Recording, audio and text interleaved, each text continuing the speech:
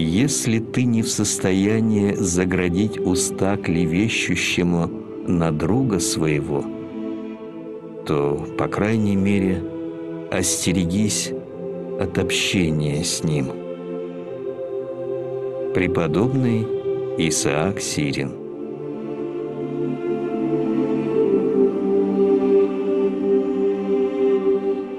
Сколько бы мы ни учились, все равно невозможно познать Господа, если не будем жить по Его заповедям, ибо Господь познается не наукою, а Духом Святым. Преподобный Силуан Афонский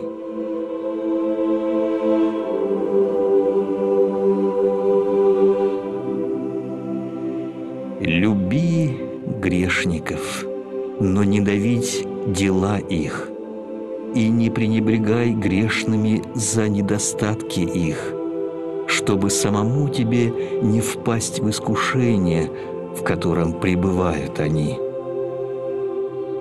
Преподобный Исаак Сирин